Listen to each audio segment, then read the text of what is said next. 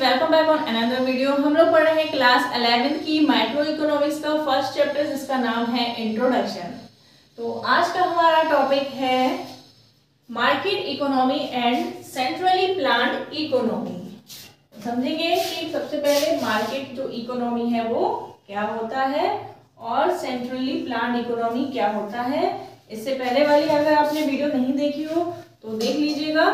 हमने पढ़ा था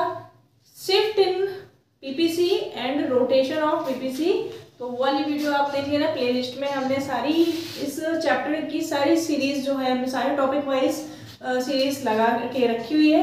आपको इसी रहेगा वहाँ से ढूँढने में प्लेलिस्ट में जाके आप देख लीजिएगा क्लास इलेवेंथ की इकोनॉमिक्स तो चलिए स्टार्ट करते हैं।